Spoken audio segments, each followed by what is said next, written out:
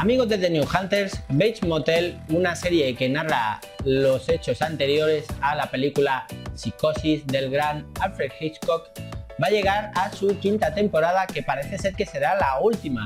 Y eh, se sabe que eh, la famosa escena de la ducha con, con esos violines de Bernard Herrmann van a volver a verse, pero en la pequeña pantalla y que la protagonista de esa ducha no va a ser otra que la cantante Rihanna.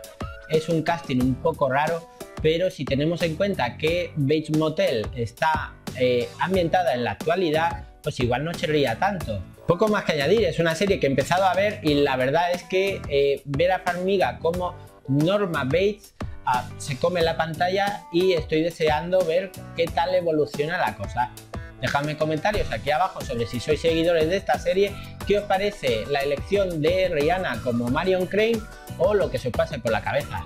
Dale a me gusta, suscribiros al canal, ve todos los vídeos de The New para estar a la última. Hasta luego.